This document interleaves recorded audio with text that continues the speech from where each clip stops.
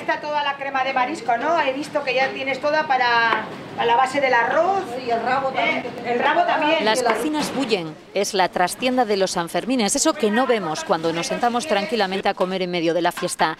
Meses de preparativos detrás de la intendencia de un restaurante como este. En el Iruñazarra darán más de 2.300 comidas en San Fermín. El comedor está al mediodía todos los días reservados, las noches hay sitio. Para las noches y para los almuerzos también hay sitio.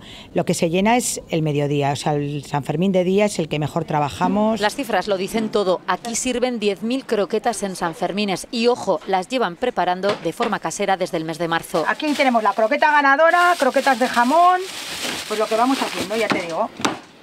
Y háganse idea de que lo mismo pasa con los chuletones o el rabo de toro que ya guisado se guarda en los refrigeradores.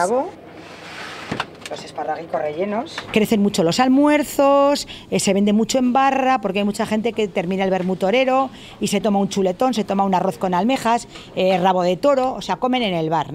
Aquí en plena estafeta el Chez Belagua tiene los almacenes a reventar. Ni se imaginan lo que se sirve solo en cerveza. 5.000, 6.000 litros, no lo sé. Depende un poco de, ya te digo, de los años. Varía mucho. Sobre todo la cerveza es un producto que, el- que la climatología influye mucho, ¿no? Esto que ven es solo para el día 6. Los repartidores no cogen vacaciones por San Fermín. Que con los años este tema ha cambiado y, y gracias a Dios los distribuidores reparten todos los días.